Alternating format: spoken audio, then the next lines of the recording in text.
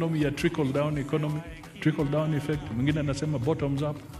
If you did this and you say bottoms up, this is the bottom. Mtu anameza kila kitu.